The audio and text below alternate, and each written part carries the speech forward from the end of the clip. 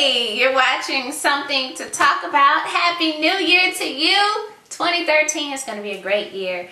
I do want to apologize to all of my faithful viewers for not um, taping for the past couple of months. So I do apologize, but I'm back in action and uh, we have some really great, exciting things for this new year. Got some really cool topics coming up. Got some guest speakers lined up and all of that good stuff. So please, please continue to tune in and watch something to talk about. On today, I'm going to talk about the proverb, Proverb 22, 6. It says, train up a child in the way he should go. And guess what? It doesn't say guess what, but I'm saying guess what to you. When he is old, he will not turn from it. Other version says that he will not depart from it. Train up a child in the way that he should go. And when he gets old, he will not turn from it. I was on set the other day in Maryland.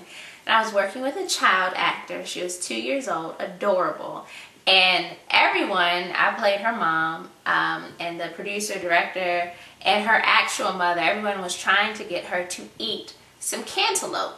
And this little girl was just not feeling the cantaloupe. So we are like, eat the cantaloupe, sweetie, eat the cantaloupe. And she was looking at us like we were crazy. But it wasn't until her mother walked over next to her and picked up some cantaloupe, put it in her mouth, and ate it herself, did the little girl then look at her mom. She then looked back at the cantaloupe and began to eat the cantaloupe. At that moment, I got so full and had to remind myself to just stay in character. But I got full because I realized that children, it's not so much that they're they're doing what they they hear, but they're really doing what they see. And it's so important for parents, for teachers, for aunts, grandmas, godmothers, godfathers to remember that this whole mindset of do what I say, not as I do, does not work. Children do what they see. So I just really want to encourage you, if you're a parent, if you have children in your life, to remember that to train up a child, training means to instruct, to teach. It's really hard to teach and instruct something that you're not doing yourself. And it's so funny because a lot, everybody wants their child to be good and you want your child to grow up knowing the things of the Lord or, you know, be good citizens. Uh, the important thing is to remember that you have to be a good citizen in order to show your child how to be one. And if you want your child to be respectful, you be respectful. If you want your child to honor God, you honor God. If you want your child to, to really have a hunger and thirst for righteousness, well, the best person to show them that is you. So I just really want to charge you. No, I'm not a parent, but one day I will be. And I do love children, and I and my heart really goes out to kids because I think sometimes we treat them like second class citizens. But we have to look at our Savior. And when he was presented with children, the disciples were trying to push them away, like, no, don't let don't let Jesus be bothered with the children. He said, No, let them come to me.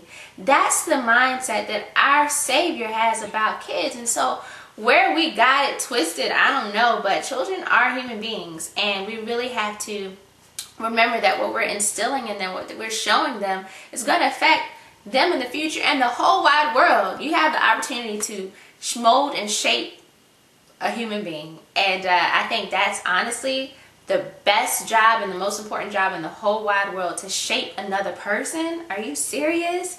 So um, really, really take your job seriously, um, whether you're a parent, a guardian, if you're um, you know, just mentoring someone, whatever time that you have with a child, make sure that you make them feel important and that you really see the responsibility that you have as an adult to show a little person how to be a good big person and most importantly how to be a god-like big person. So i just want to encourage you with that to remember that to train means to teach and it's hard to teach something that you're not living yourself so hey just want to encourage you to uh, to keep that in mind and when you see a kid tomorrow today whatever you watch the show look at them differently and really take time with them love on them and I feel like we have so many negative things in our world that it's important to, to take moments with kids to show them some positive things. So do your job.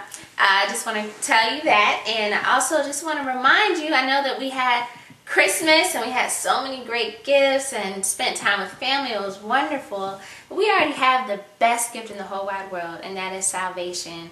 Jesus Christ died on the cross for us, but it didn't stop there. He rose with all power, all authority.